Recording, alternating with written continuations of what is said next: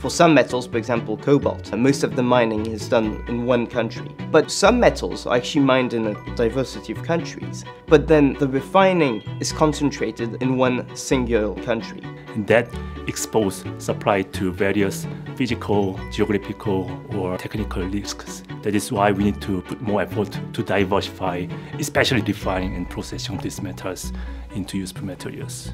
If we are to have these materials by the end of the decade, we need investment now.